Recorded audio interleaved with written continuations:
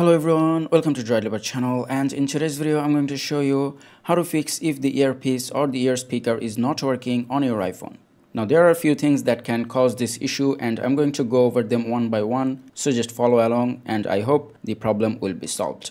Now the first fix that we are going to apply for that what you have to do is just open your settings app and then scroll down and then go to accessibility.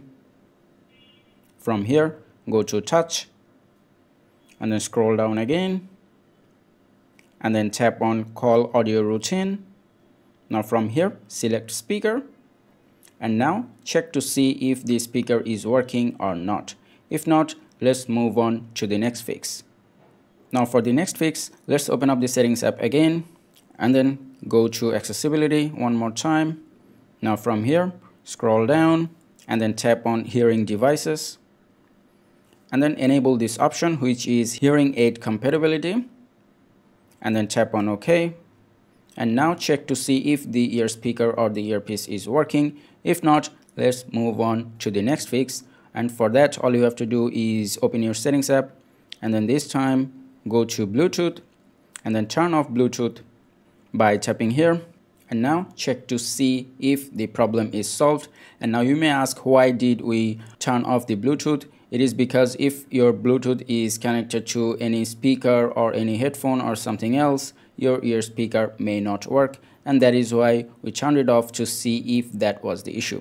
If this still did not fix the issue, then what we are going to do is clean the ear speaker with a toothbrush.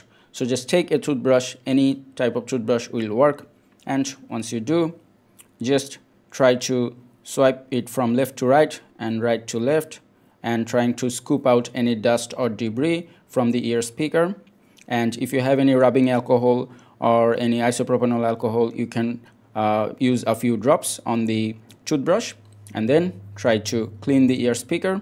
I've seen a lot of people with iPhones and that has a lot of gunk in the ear speaker. And once it has been cleaned the speaker worked really well again. So just try this method and see if this fixes your problem. If it does not there is one last method that you can try. For that what you have to do is go to your settings app again and then this time go to general and then scroll all the way down and then go to transfer or reset iPhone.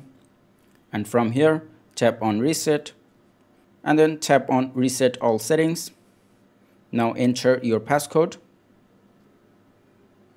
now tap on reset all settings. Now when you do a reset all settings, only the settings that you have applied will be deleted. No data or media will be deleted. So you don't have to worry about all your photos and videos and stuff. And once you're sure about it, just tap on reset all settings and that will reset the settings and hopefully fix the issue. And that is how you can fix the issue of your earpiece not working on your iPhone 10, 12, 11 or 13 I hope this video was helpful. If it was, please give it a thumbs up and don't forget to subscribe.